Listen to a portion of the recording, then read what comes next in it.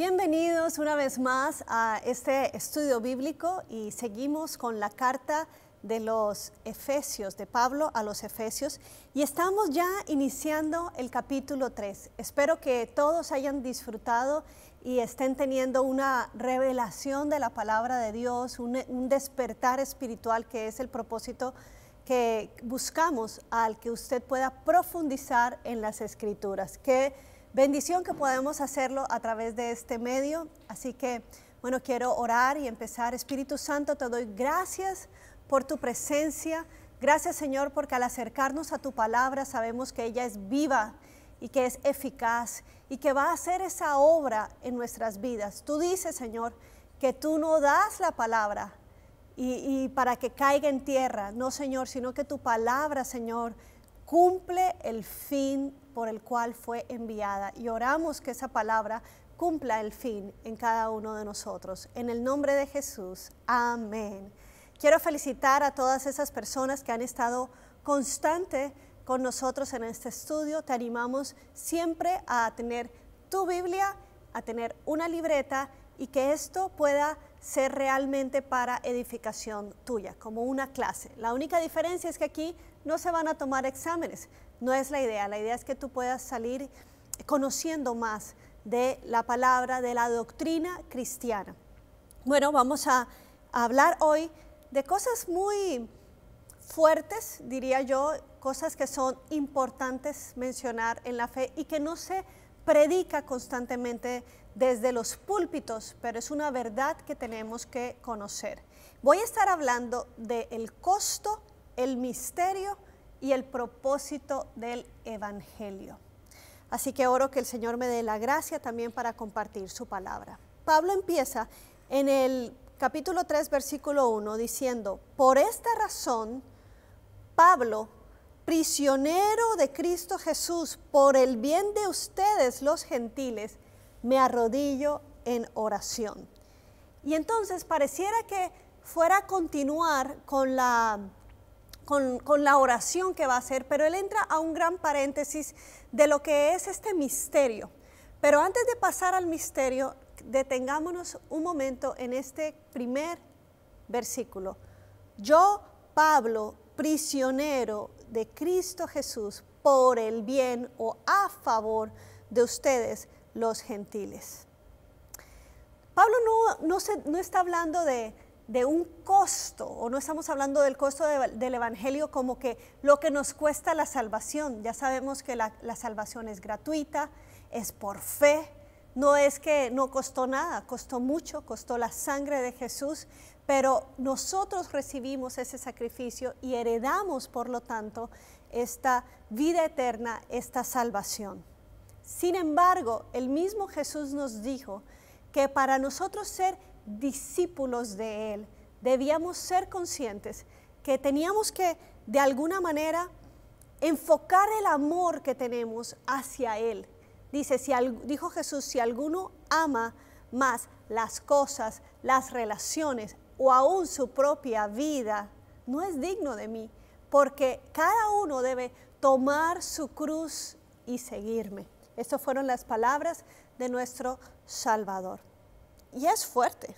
Realmente un discípulo no es un simpatizante. Y yo creo que muchas veces cuando entramos al Evangelio podemos mirar en qué nivel estamos nosotros de compromiso. Pero el Señor nos ha llamado a ser sus discípulos, a estar 100% comprometidos. Y un discípulo ama más a Jesús que todo. O sea, cumple en sí mismo el primer mandamiento que es ama al Señor tu Dios con todo tu corazón, con toda tu alma, con todas tus, tus fuerzas, con toda tu mente. Y después ama al prójimo como a ti mismo. Un discípulo realmente encarna esta verdad. Es importante mencionar eh, que el costo del Evangelio es estar dispuestos a sufrir. Y tenemos que pensar en esto, que tanto estamos dispuestos para sufrir por dar a conocer el mensaje del Evangelio, por supuesto. Nosotros pensaríamos que un mensaje tan hermoso de redención, de restauración, de amor, no tiene por qué ser mal recibido. ¿Por qué vamos a sufrir por este mensaje. Sin embargo, hay mucha oposición, porque nuestra lucha, nos dice el apóstol más adelante, no es ni contra carne ni sangre. La gente necesita este mensaje, pero hay una fuerza espiritual que se opone a este mensaje. Entonces hay, hay una lucha, hay un conflicto. Y entonces nos damos cuenta que cuando queremos hacer las cosas bien o correctas o vivir una vida mejor, lo que encontramos muchas veces es burla, rechazo y oposición. Nosotros hace poco estuvimos eh, celebrando y disfrutando eh, a este gran artista que se llama Kenji West.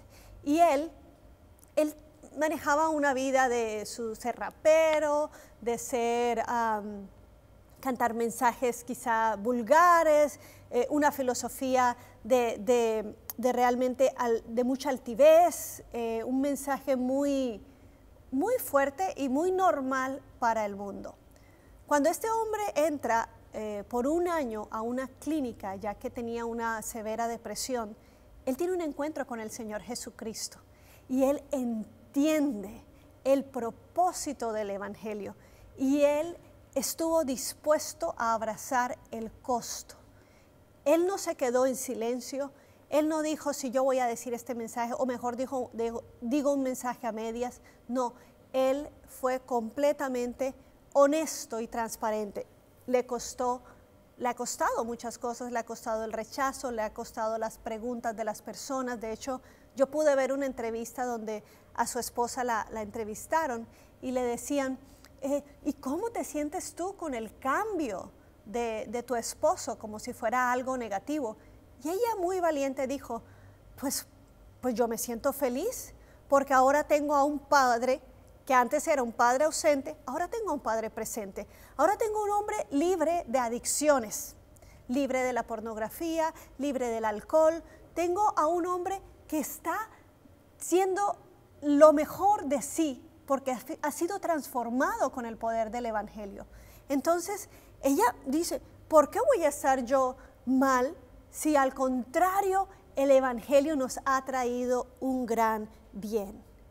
En el caso de él, él decidió ser valiente y seguir adelante. Ese es nuestro llamado. Aunque haya a veces lucha, oposición, burla, rechazo, nosotros debemos entender que cuando, como dice Jesús, ninguno que pone sus manos en el arado no debe mirar atrás. Si alguien mira atrás, no es digno del reino. O sea, no podemos estar haciendo un trabajo correcto de arar derecho si estamos con nuestro enfoque en otro lado. Eh, poner las manos en el reino de Dios, involucrarnos en el reino de Dios, decide, eh, requiere un compromiso total para que nuestro trabajo no sea torcido, sino que realmente podamos llegar a la meta como nosotros esperamos llegar. Filipenses, el mismo apóstol Pablo, en el capítulo 3, verso 10, dice, lo he perdido todo a fin de conocer a Cristo, experimentar el poder que se manifestó en su resurrección, participar en sus sufrimientos y llegar a ser semejante a Él en su muerte. Suena con un gran entusiasmo, pero él ha entendido que abrazar a Cristo, abrazar el poder de la resurrección, es mucho mejor que lo que este mundo puede ofrecer. Entonces él dice, yo mismo he decidido eh, perderlo todo a fin de conocer a Cristo. Y bueno, ahora seguimos adelante. Dice el apóstol, dice, con con el sacrificio de Cristo recibimos una gloriosa herencia, pero no se nos niega que junto con el gozo también hay sufrimiento en la tarea de dar a conocer el mensaje. Pablo nos está hablando desde una prisión por motivos de la predicación a los gentiles. Si recuerdas en la primera clase, el pastor Danilo te, te tuvo que haber dicho que Pablo escribe esto al final de sus tiempos. Es cuando él regresa de su tercer viaje misionero, que él es encarcelado, primero en Jerusalén, ahí lo atrapan, pero lo llevan a Cesarea, donde pasa dos años preso para después ir a Roma. No se sabe exactamente si el apóstol escribe las cartas desde los dos años que está en Cesarea o si, o si lo hace desde la prisión de Roma, pero lo que sí se sabe es que es durante este tiempo. Yo estoy hablando que el apóstol Pablo es un hombre maduro en su ministerio, es un hombre que está en la cárcel por hacer el bien, porque por otro lado nos dicen los apóstoles, miren, que no vayan a la cárcel por estarse portando mal. Ese no es el sufrimiento de Cristo, ni ese es el sufrimiento al que estamos llamados. Estamos llamados es a que si por hacer el bien padecemos sufrimiento, entonces somos, en ese, en ese sentido somos recompensados por el Señor o en, ese, o en ese sentido estamos identificándonos con el sufrimiento de Cristo.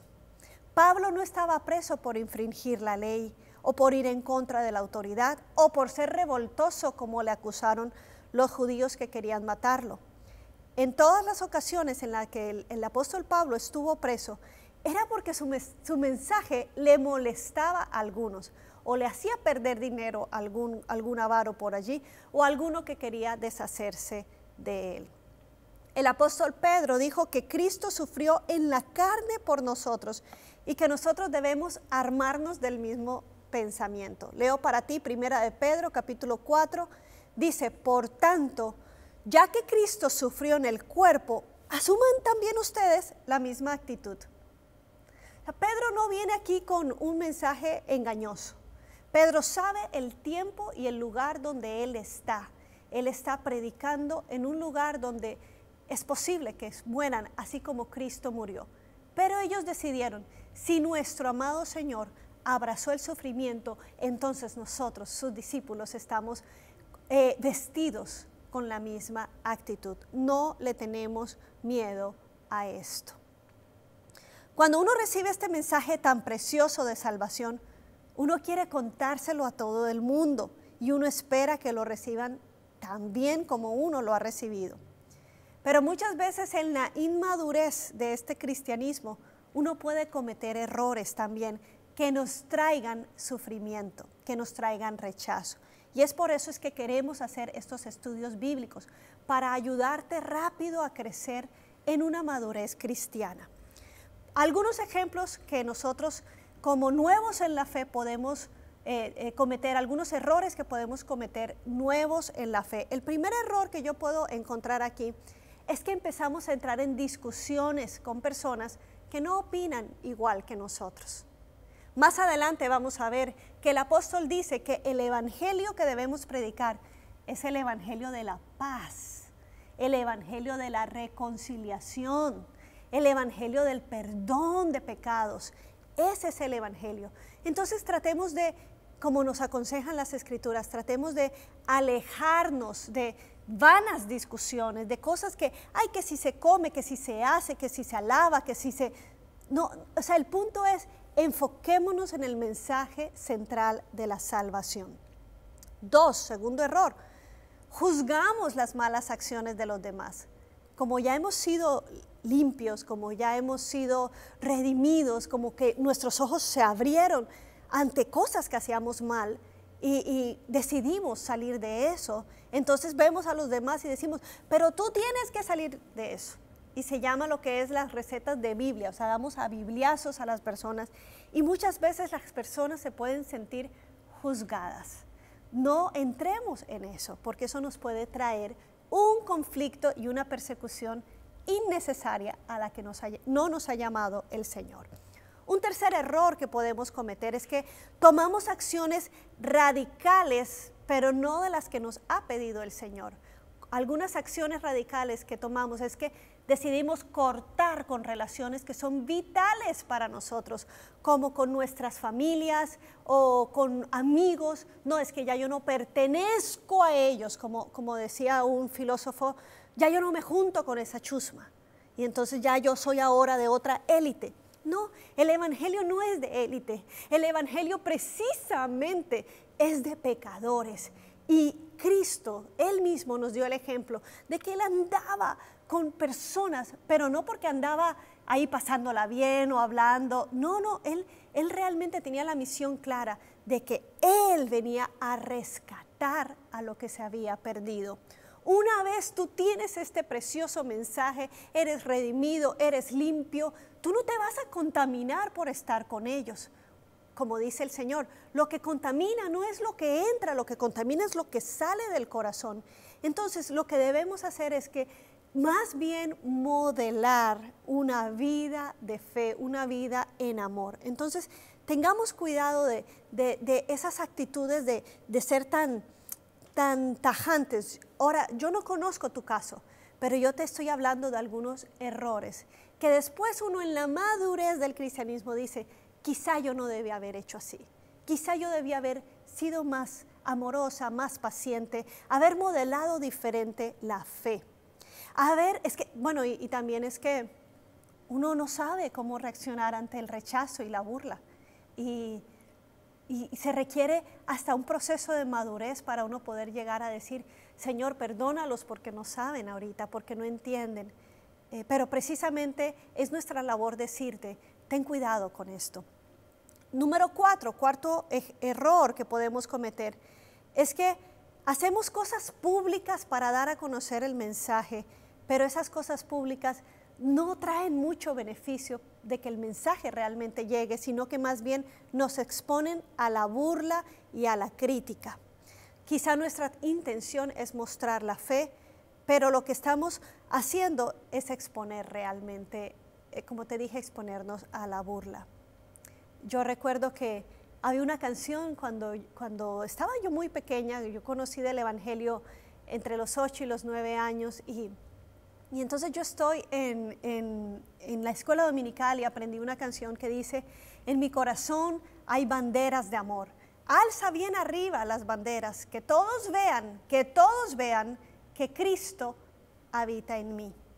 Lo que yo interpreté de esa canción es que yo debía decirle a todo el mundo y cantar así bien duro eh, esta canción. Entonces yo lo hice literal, me asomé al balcón de mi casa y empecé, no, estaba mi mamá, ella había salido a comprar algo y, yo empecé a hacer mi misión de evangelista, ¿no? Y empiezo yo a cantar, en mi corazón hay banderas de amor, álzalas bien arriba, que todos vean, pero yo gritaba para que mis vecinos oyeran.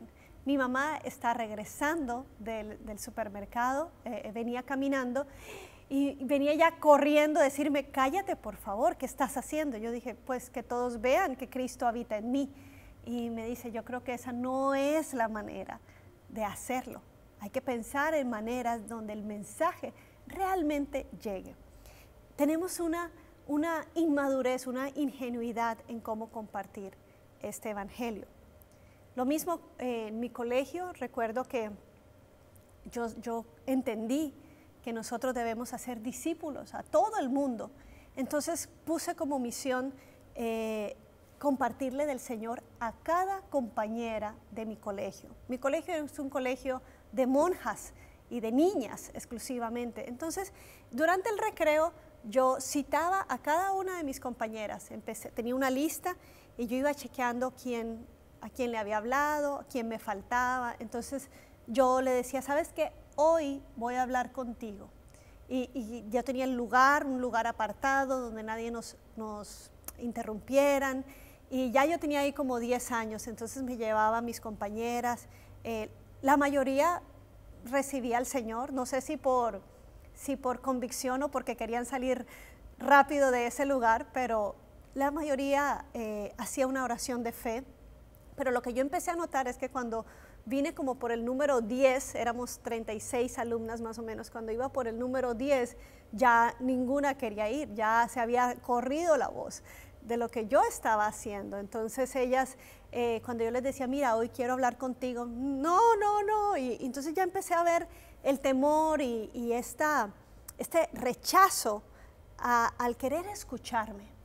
Entonces yo tuve que parar y tuve que pensar qué voy a hacer, porque me quedaban cinco años más de estudio con ellas. Yo no, yo no pensaba cambiar de colegio.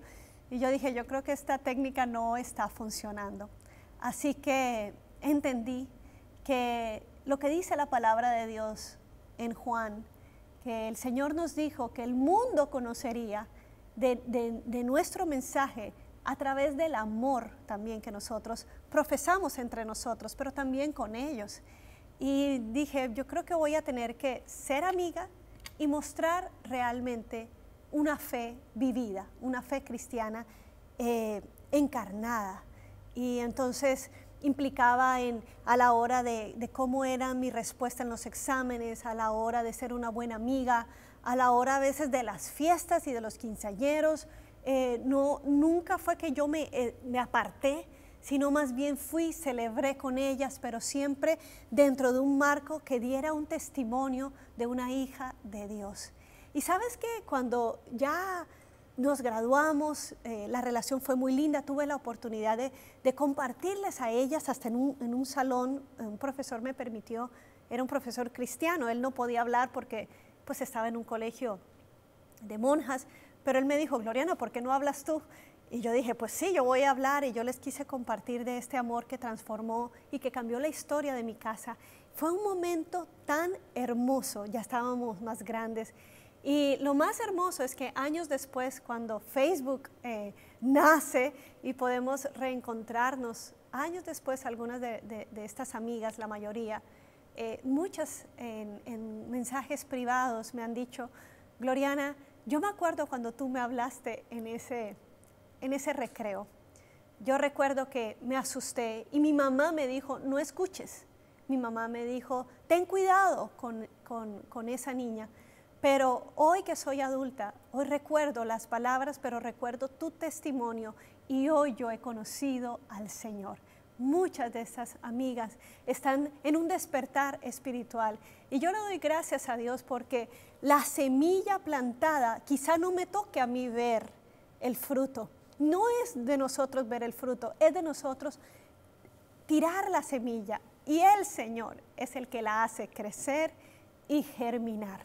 Así que no te canses, no te desanimes, porque tal vez no lo podemos ver o tal vez sí, pero lo importante es que nuestro mensaje de vida y el mensaje de nuestras palabras sea coherente para que en su momento el Espíritu Santo haga germinar eso en la vida de las personas. Se requiere prudencia, se requiere muchas veces, yo vi en el apóstol Pablo cómo él se defendió, cómo él él clamó por su vida, la, defensa que este hombre tiene ante el gobernador Félix es, magistral. Él no tuvo ni derecho a abogado, pero fue magistral su defensa. Una persona inteligente, prudente, sagaz. Eso es lo que Dios quiere que nosotros seamos, buenos representantes del reino. Entonces, para ir concluyendo este punto, te, voy a lo que es el costo del del Evangelio, yo te voy a, dar dos puntos. Número uno, no te busques tú mismo los sufrimientos que Dios no te ha pedido, ya sea por falta de, de prudencia o por falta de sabiduría. Número dos, cuando lleguen sufrimientos, ya sea por rechazo, por burla, por oposición, debemos estar dispuestos, como dijo el apóstol, miremos a Cristo, porque si Cristo estuvo dispuesto a abrazar el sufrimiento, yo soy su discípulo y yo me voy a identificar, como dijo también el apóstol Pablo, yo me voy a identificar con los sufrimientos de Cristo. Y eso más bien va a ser en alta estima. Para mí es un honor poder participar. A muchos de los mártires del primer siglo, cuando les obligaban a negar a Cristo y se salvaban la vida, uno de ellos dijo, ¿cómo voy yo a negar a aquel que me dio tanto bien? ¿Cómo yo voy a negar al que ha transformado mi vida si es lo más precioso que me ha pasado? Y si morir es el destino, pues yo voy a gozarme con él una vez pase el umbral de la muerte. Esa es la visión que nos, que nos ayuda a soportar de una manera correcta el sufrimiento. Algo similar de lo que le pasó a Pablo, de, estar preso. Eh, le, pasa le pasó a un gran evangelista a finales de 1600. Su nombre es John Bunyan. Él fue arrestado en Inglaterra por seis meses por estar predicando públicamente sin el permiso que se requería. Previamente él había pasado 12 años en prisión donde escribió muchos libros y folletos. Así que en lugar de ver este nuevo encarcelamiento como una gran tragedia, lo tomó desde un punto de vista optimista. Él escribe durante esos seis meses, él dice, he estado sin escribir mucho tiempo. Quizá esto, más que una prisión, es como una oficina en la que puedo alcanzar al mundo con el mensaje de Cristo. Durante este corto encarcelamiento, él escribió el libro El progreso del peregrino, una alegoría de la vida cristiana que quizás es el libro más famoso escrito en el idioma inglés. Con Pablo sucedió lo mismo. Hay gracia, hay propósito aún en el sufrimiento. No te desanimes, porque durante este encarcelamiento de Pablo salieron cuatro epístolas. La carta de los Efesios que estamos leyendo, la carta de Filipenses, la carta a los Colosenses y la carta a Filemón, que hasta el día de hoy estamos viendo una, estamos recibiendo la bendición de ese tiempo en donde este hombre estaba todavía eh, procurando un mensaje vivo y un mensaje de cuidado para la iglesia, que hasta el día de hoy es totalmente vigente para todos nosotros. Ahora, no solamente los, el encarcelamiento fue el sufrimiento del apóstol Pablo. Dice segunda de Corintios 11, 23 al 29. Y, y quiero leer esto no para asustarte, no para decirte vas a sufrir todos, sino para poner en perspectiva lo que una persona puede estar dispuesta a dar y que cualquiera que sea el sufrimiento que tú puedas estar teniendo por estar predicando el Evangelio, entiendas que hay hombres de fe que estuvieron adelante y que te están diciendo, ánimo, que sí se puede, ánimo que hay gracia de Dios. El apóstol dice, son servidores de Cristo, hablando de unas personas que le estaban atacando. ¡Qué locura! Pues yo lo soy más que ellos. He trabajado más arduamente He sido encarcelado más veces. He recibido los azotes más severos. He estado en peligro de muerte repetidas veces. Miren, cinco veces recibí de los judíos los 39 azotes. Cinco veces. Tres veces me golpearon con varas. Una vez me apedrearon. ¿Se acuerdan que creyeron que el apóstol estaba muerto y lo sacaron de la ciudad? Pero no sé si resucitó o, realmente no estaba muerto, pero la cosa es que por el poder de Dios ese hombre se levanta y vuelve a entrar a la ciudad. Un milagro. Tres veces naufragué y pasé un día y una noche como náufrago en alta mar. Mi vida ha sido un continuo ir y venir de un sitio a otro en peligros de río, peligros de bandidos, peligro de parte de mis compatriotas, peligros a mano de los gentiles, peligros en la ciudad, peligros en el campo, peligros en el mar y peligros de parte de falsos hermanos. He pasado muchos trabajos y fatigas y muchas veces me he quedado sin dormir. He sufrido hambre y sed y muchas veces me he quedado en ayunas. He sufrido frío y desnudez. Y como si fuera poco, cada día pesa sobre mí la preocupación por todas las iglesias. Cuando alguien se siente débil, no comparto yo su debilidad. Y cuando a alguien se le hace tropezar, no ardo yo de indignación. Claro, el precio que ha pagado este apóstol por cada alma ganada ha sido duro, pero ha valido la pena. Por lo tanto, Él está como un león defendiendo a aquellos que quieren venir a, engañar al rebaño, a, engañar a las personas que han conocido del Señor. No sabemos el precio que pagan los líderes espirituales, los misioneros que llegaron a nuestros países en Latinoamérica a llevar este mensaje de salvación. No sabemos el precio de vida que están pagando algunos hermanos en, en otra parte, en otro continente, que están expuestos diariamente al, peligro, a la, a la muerte, al martirio. Por esto hoy debemos levantarnos en valentía, pero también en oración, por aquellos que están sufriendo.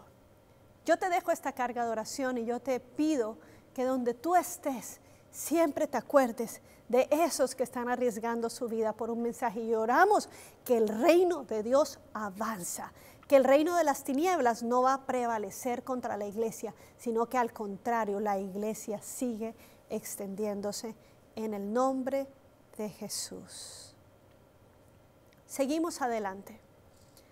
El misterio del Evangelio. Y Pablo dice en ese paréntesis que, él habla, él, termina el versículo 1 diciendo, me arrodillo en oración, pero no siguió orando, sino dice, ah, por cierto, sin duda, ustedes se han enterado del plan de la gracia de Dios que Él me encomendó para ustedes, es decir, el misterio que me dio a conocer por revelación, como ya les escribí brevemente. Al leer esto, podrán darse cuenta de que comprendo el misterio de Cristo. Este misterio que en otras generaciones no se los dio a conocer a los seres humanos, ahora se les ha revelado por el Espíritu a los santos apóstoles y profetas de Dios. Es decir, que los gentiles son, y aquí viene el gran misterio, que los gentiles son, junto con Israel, beneficiarios de la misma herencia, miembros de un mismo cuerpo y participantes igualmente de la promesa en Cristo Jesús mediante el Evangelio. El misterio al que se refiere el apóstol Pablo entonces es que ahora nosotros los gentiles, porque ¿quiénes son los gentiles? Los gentiles es todo lo demás que no sea judío. Y si usted no pertenece a una familia judía, eh, quizá tiene un apellido que pueda venir de allá, pero realmente si usted no está dentro de este grupo, usted es un gentil. Pero la buena noticia es que los gentiles ahora somos coherederos con los judíos. Y esto, esto fue un shock para los judíos, un shock cultural, un shock religioso y, y duro porque ellos y, esta era la pelea de Pablo con sus compatriotas, como yo mencioné ahorita. Eh, porque sus compatriotas decían, pero ¿cómo es esto? Que, que ahora, así porque sí, eh, ellos ahora son parte también de herencia. Si nosotros somos el pueblo de Dios que ha guardado y con muy buen trabajo hicieron en guardar esta ley, en guardar el mensaje de los profetas. Pero la ley era es, no era, la ley escrita en el Antiguo Testamento es un espejo para nosotros que nos, que nos hace ver nuestra incapacidad para llegar a Dios. Pero el mensaje revelado, el misterio del mensaje revelado es que ha llegado la gracia. Jesucristo ha llegado para ayudarnos a cumplir y a llegar porque por nuestras propias fuerzas no somos capaces de hacerlo.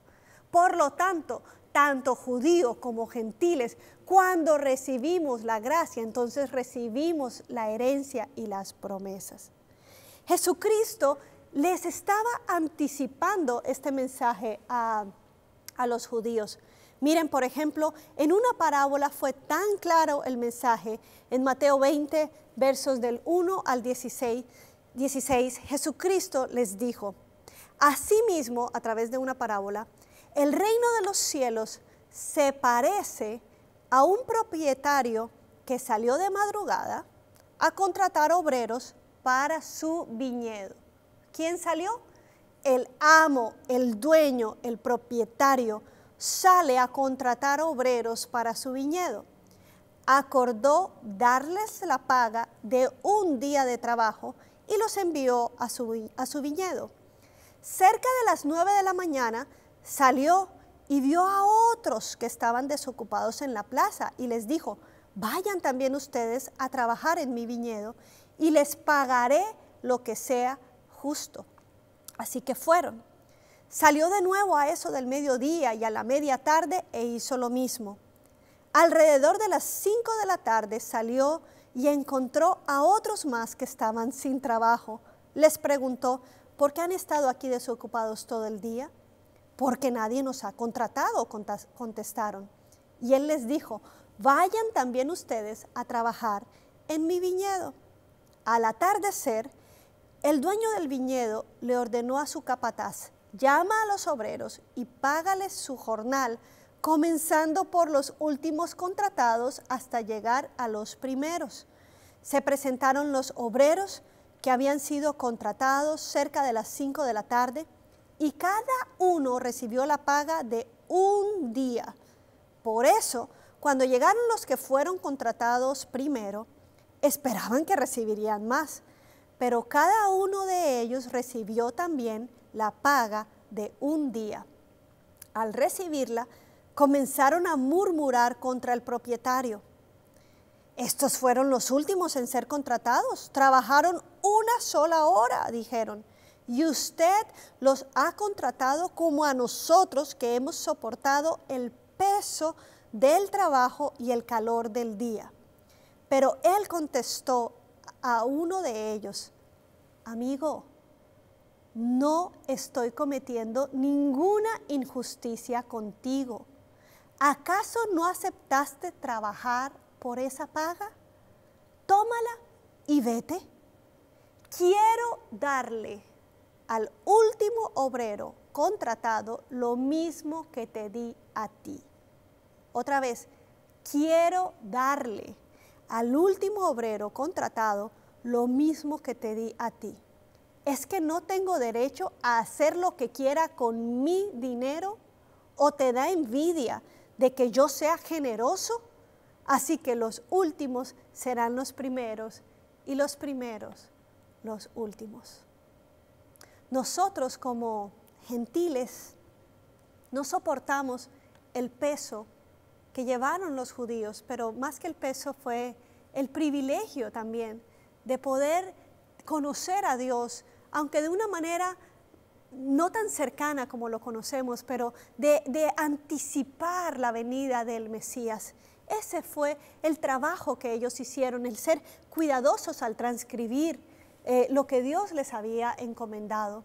Nosotros recibimos la fiesta, la gracia, el mensaje de salvación, pero es la generosidad del dueño del reino el que nos ha permitido a nosotros, junto a los judíos, poder recibir esta herencia. Esto se llama el misterio de la gracia de Dios. Ese misterio es, a invitarnos a poner los ojos y nuestra fe solo en Jesús, no en las tradiciones, ni en las fiestas, ni en los rituales. Tú sabes que Pablo recibió mucha crítica de parte aún de, de hermanos en la fe que eran judíos, que al enterarse que los gentiles estaban recibiendo el mensaje de salvación y el poder del Espíritu Santo, ellos decían, no, no, no, no, a ver, que todos se circunciden, que todos ahora guarden las fiestas, que todos se conviertan al judaísmo.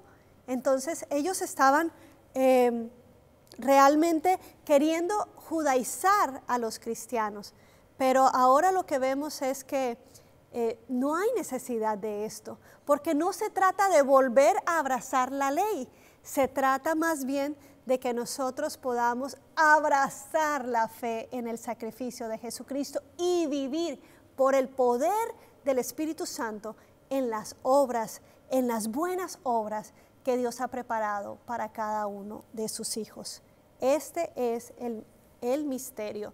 Dice por eso Gálatas en el capítulo 3, en el verso 28 dice, ya no hay judío ni griego, esclavo ni libre, hombre ni mujer, sino que todos ustedes son uno solo en Cristo Jesús. Ya no hay esta división. Ahora terminamos con el propósito del Evangelio y, y, voy a leer ya Efesios capítulo 3 versos del 10 al 12 para terminar este estudio. Vamos a terminar hasta el verso 12. Dice, el fin de todo esto es que la sabiduría de Dios en toda su diversidad se dé a conocer ahora por medio de la iglesia. A los poderes y autoridades en las regiones celestiales, conforme a su eterno propósito realizado en Cristo Jesús nuestro Señor en Él mediante la fe, disfrutamos de libertad y confianza para acercarnos a Dios. Realmente volvemos a confirmar que hay una lucha espiritual, porque cada vez que nosotros traemos a libertad a alguien, estamos anunciando a los poderes y a las huestes espirituales este poder de Dios, este mensaje de la sabiduría de Dios. Y también tenemos nosotros que entender que Dios está más cerca que nunca a través del sacrificio de Jesús y que nosotros debemos es enfocarnos en esa libertad y ejercitar esto. Ahora que la puerta está abierta para poder tener una relación directa con Dios, tienes que tomar ventaja. No te distraigas, no te dejes ocupar en cosas que son innecesarias. Aprovecha que la puerta está abierta, que el trono de la gracia está accesible a cada uno de nosotros. Aprovecha que puedes conocer más profundamente a Dios y experimentar el poder del Evangelio dentro de ti. El propósito del Evangelio es precisamente acercarnos a Dios, traer a Dios, ese Dios que para muchos es lejano, decir, Dios está cerca. Dios quiere habitar en medio de cada uno de nosotros. Así que celebremos con alegría y acuérdate que cada vez que estás anunciando este mensaje, tú estás extendiendo el reino de Dios y el reino de las tinieblas tiene que retroceder. En el nombre de Jesús estamos orando y creyendo que toda obra que el enemigo ha querido hacer en nuestra vida y en la vida de nuestras familias, que es matar, robar, destruir, hoy en el nombre de Jesús se deshacen todas esas obras.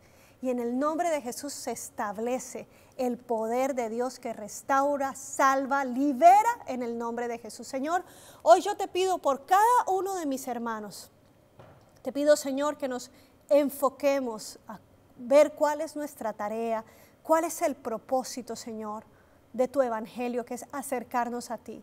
Yo te pido, Señor, que avives nuestra vida espiritual en la medida que nosotros te buscamos. Tú dices, Señor, que ninguno que se acerca a ti, Señor, sale sin recompensa.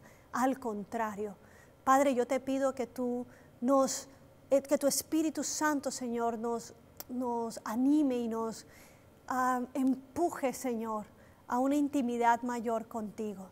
Yo te pido, Señor, que nuestros ojos siempre estén puestos en ti, que no estemos mirando atrás, al lado, Señor, que tu reino, Señor, para hacer el trabajo efectivo, debemos poner estas manos en el arado y mirarte a ti, Señor. Yo te pido que des fuerzas nuevas a aquellos que están eh, con fuerzas escasas, que estén sufriendo, Señor.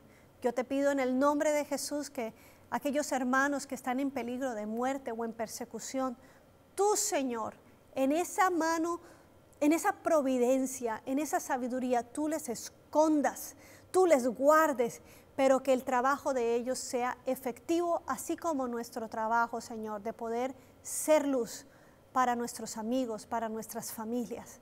En el nombre de Cristo Jesús te lo pedimos. Amén y amén. Que el Señor te bendiga.